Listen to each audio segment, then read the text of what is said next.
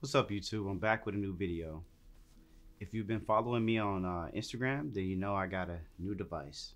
The Pocket 3. Today I just want to talk about why the DJI Osmo Pocket 3 should definitely be in everybody's kit.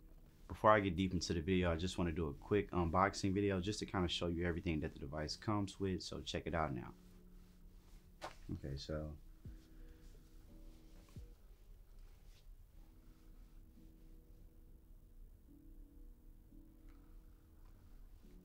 Alright, so I'm to break this video down into a couple sections, but number one, I want to highlight the pros. Form factor, video quality, and just the usability. All of those things combined, A+++++. Plus Keep in mind, I think when DJI designed this device, not only is it, you know, marketed towards like vloggers and stuff like that, it's also for independent creators, um, especially independent filmmakers, photographers, music video directors, anybody who wants to document their life um, outside of their phone with better quality, but something that's as easy to use as a phone.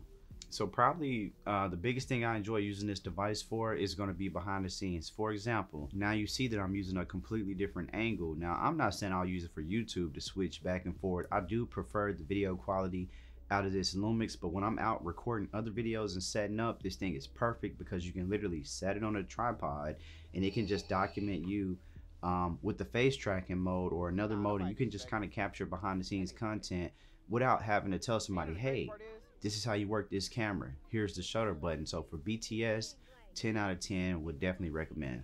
I can also see how this device would definitely be useful for like um, people just getting into vlogging and different things like that. Um, the size of the camera is very discreet. The Creator Combo actually does come with the DJI Mic 2, which is also it's actually a pretty good deal. It comes with the battery. It comes with a little bit of everything. So definitely, if you're somebody who's looking to like vlog and do different things like that, and just be a little bit more discreet, this camera is definitely for you. And of course, you got to keep in mind, I'm somebody who's used the GoPro 12. Um, GoPro 5. I've also had the the Sony RX02. So I've used several smaller cameras, including which the one I still own, which is my GoPro um, Fusion 360, which is still my favorite 360 camera. Now you got to keep in mind this isn't necessarily an action camera, but it can do action things. So we gotta we gotta get that straight right there. If you're somebody who's gonna do like underwater diving and different things like that, then a hundred thousand percent.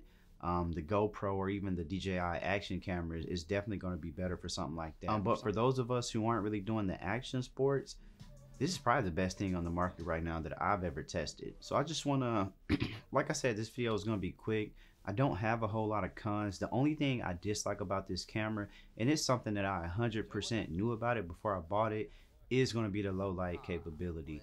Um, this definitely isn't a low light camera. I would compare it to um, shoot it. It's a little bit better than the iPhone at night, but as anybody knows who shoots videos, the more lights, the better the quality is going to be. So that's really the only con.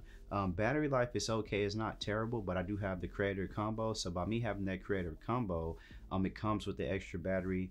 If I'm not mistaken, you can actually plug up an external battery. So you can extend your battery either way. So that's honestly a cheap fix. Um, but yeah, this camera to me is definitely going to be marketed towards um, number one creators or people who just want to start trying to create content or very experienced creators kind of like myself. Like i say for behind the scenes this is probably a dream come true. You know if they could increase the low light capability it would be even better. But honestly if it gets to the point where you're shooting at night get you a bts photographer or a bts videographer. But if you don't have that and you want something quick easy to use make content with boom this is the device. Also before i get out of here i want to highlight uh, making reels tiktok instagram reels facebook reels all of that youtube shorts all of that good stuff. With this device, you can shoot, transfer it to your phone because it does have that automatic vertical mode. And um, honestly, it just makes it easier. So like I say, the creator combo is definitely a creator combo and this device is definitely something that all creators should use. I wish the price was a little bit cheaper so more people could get it but as we know um, that's just how technology goes. A new camera comes out the price is going to be higher and then the older model is going to get cheaper.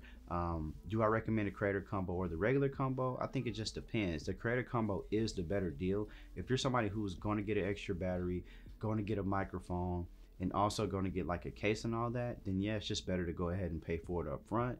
If you're somebody who wants to buy it later, boom, you can get the basic and do it later. But this camera, I mean, it's definitely it's definitely probably my favorite camera that I own right now.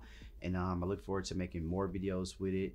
I'm making shorts with it and all type of stuff. Like I say, follow me on Instagram and you'll see more content with it. But for anybody looking for a camera to get them started or something to just use to accompany their other cameras. For example, I have a couple different videos coming up where I'm for sure going to be using this and I'll be able to talk about it more in the future as well as show everybody. But like I said, um, quick short video, DJI, y'all did the damn thing. As somebody who owned the Phantom 4 way back, that was my first ever DJI product. Hey, I'm proud of that company and um, overall they're making good products let's just keep it up. But the Osmo, um, the hype is real. Like I say, for people that know how to use it, not only know how to use it, but for people who want to create content, the hype is real.